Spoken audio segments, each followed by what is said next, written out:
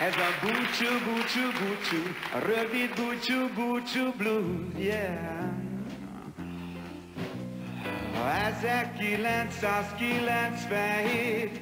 október 11-én itt a Nagykanizsán, a Nagykanizsai Jazz Fesztiválon Szombat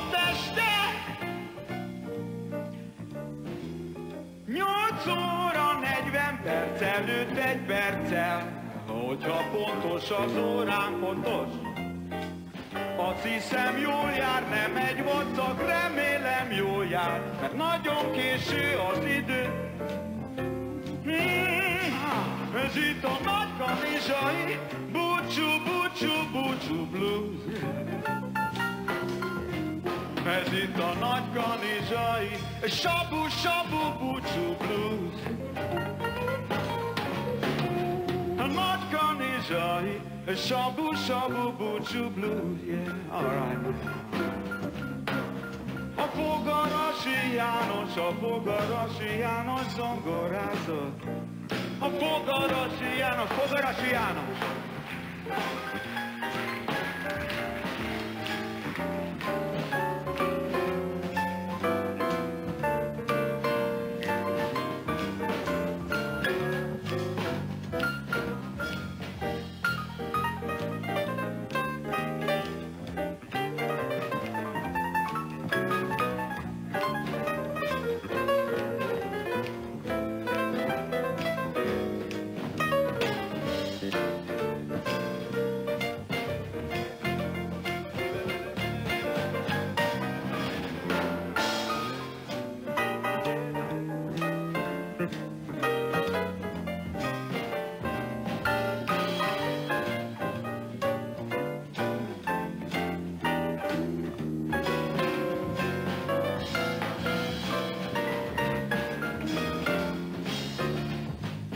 Fogarasi János.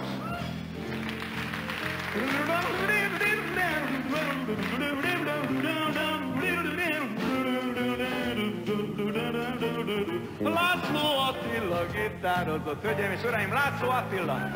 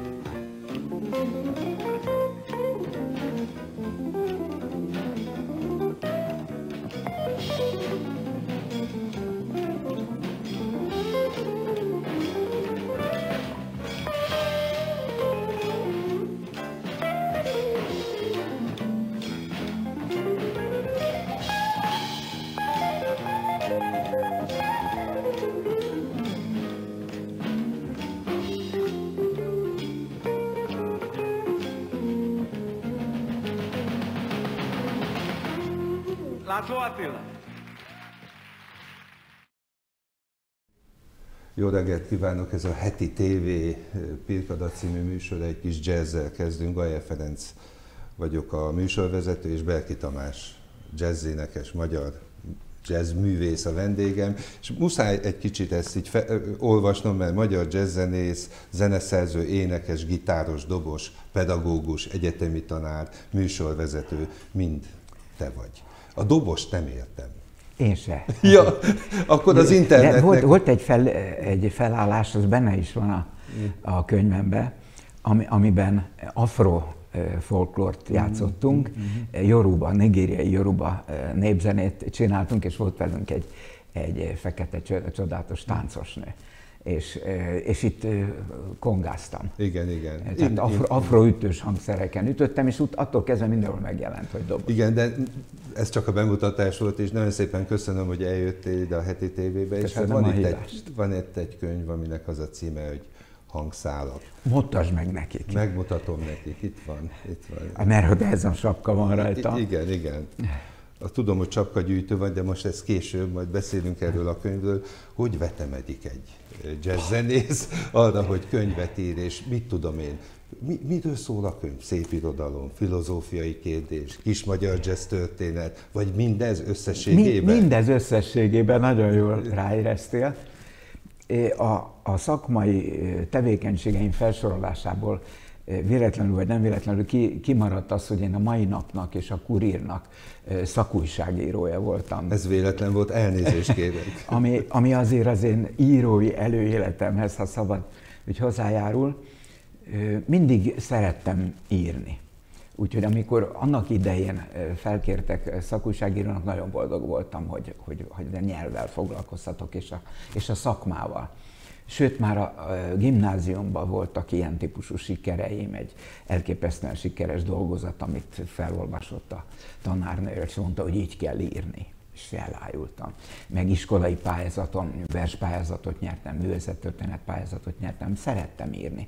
Versek, dalszövegek egész életemben végig kísértek, sőt, nem lényeges, de mást is írtam, de, de amikor a Covid eljött, akkor, akkor valahogy le kellett ülnem a székbe, mert nem lehetett semmit se csinálni. És amikor, mit tudom én, az ember azt mondja, hogy eljut arra a pontra, hogy akkor most idok egy önéletrajzi, mondhatom ezt. É, abba csúszott bele. Igen, meg egy kis magyar jazztőt, ja, meg is. egy kis filozófia, igen, hogy igen. arról beszéltünk.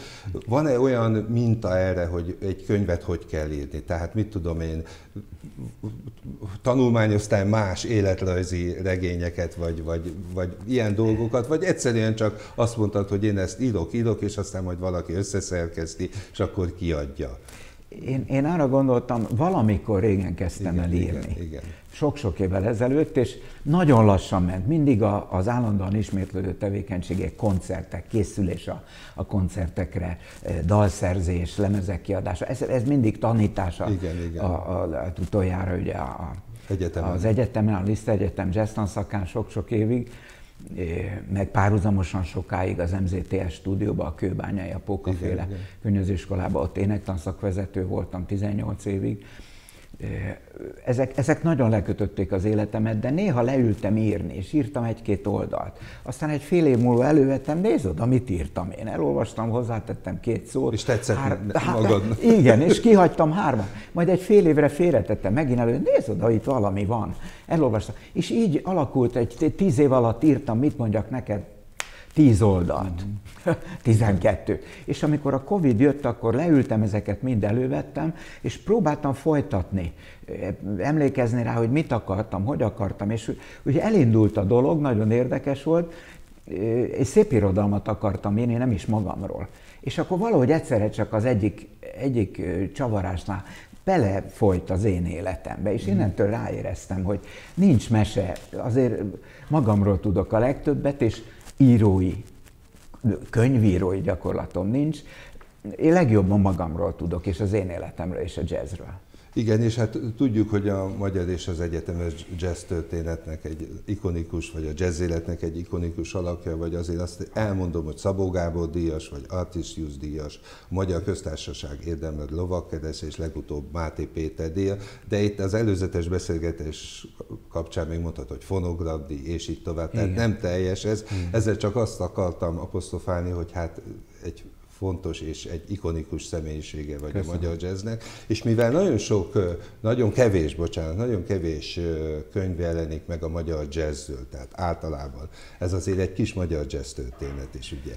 Beszéljünk légy szíves arról, hogy mit, milyen olyan ikonikus zenekaraid voltak, ami, am, amik azt, azt hiszem, hogy a magyar jazz történetbe beleékelődött. Hát amikor ugye elindult a, a Gonda, jazz pályám, igen, akkor akkor belecsúsztam egyszer az Interbrass együttesbe. Igen. Hát ez, ez egy borzasztó fontos életemre meghatározó dolog volt, fantasztikus partnerekkel. Elmondod, hogy kik voltak? Másik Jancsi volt az zongorista, aki ugye egy legenda, a Széchenyi filmzeneszerzője, Bereményi társszerzője, Cseh Tamással énekelt együtt, az Európa kiadónak volt tagja, mind mai napig egy aktív, kiváló egészen kiemelkedő kreatív muzsikus, Dés László, aki Kossuth Díaz zeneszerző, szakszofonos zseni, egy egészen kiemelkedő ember.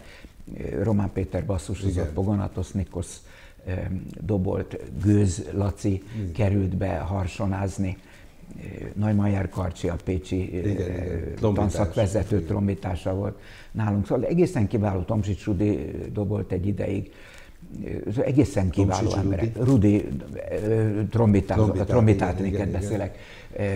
Egy évig, másfél évig a zenekarban. Szóval tényleg fantasztikus emberek fordultak meg ebbe a csapatba a 70-es évek elején, közepén.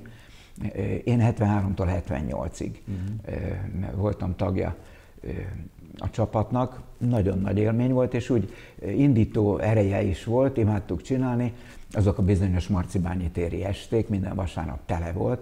Tényleg az Interdasszal Éppen most oda, voltam az 50 éves a Marcibányi tér jubileumi estjén, szombaton volt. És utána János, Gonda János elhívott, a, visszahívott Szextet, az iskolába. Kélek? Sextet, Gonda Sextet. Különböző felállásokban, igen, igen, igen, úgy, olyan is volt, különböző felállásokban jelent és akkor meg a saját zenekar. A, a Gonda zenekar és a, a, a debütált a, a csapat egy, egy csodálatos Sámán ének című.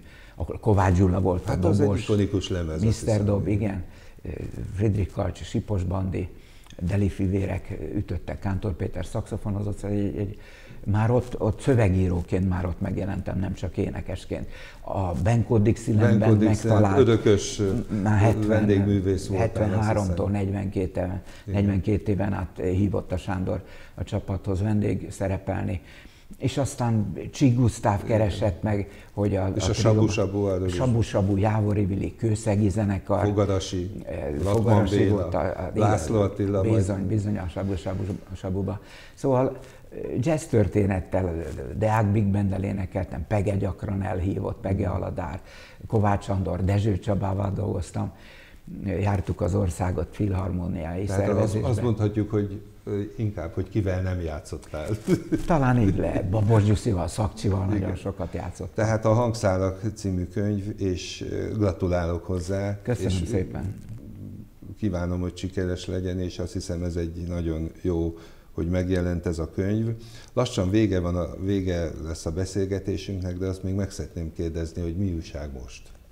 Mostanában, hogyha ha lezártam most ezt a könyvprojektet lassan, eh, lefut, ez frissen, nagyon frissen most jelent meg, eh, november 22-én és december 1-én volt a könyvbemutató az Opusban, és eh, utána egy koncertünk volt Sárik Petivel, ami hát szintén... Igen, hát ő vele azt hiszem mostanság. Nagyon fontos partnerem Sárik Péter triójával is, meg szólóban is. Vele szereztem a fonogramdíjat közös lemezünkkel. És most, hogy ez a, ez a nagyon kemény projekt így kvázi lezárulni látszik, most a tavasszal tervezem azt, hogy szintén a Covid alatt összegyűlt anyakomból nekilátok egy, egy újabb CD felvételének. Nagyon szépen köszönöm, hogy, Én hogy köszönöm. jöttél, és sok sikert és kellemes ünnepeket. Nagyon köszönöm, Feri, neked is, nektek is.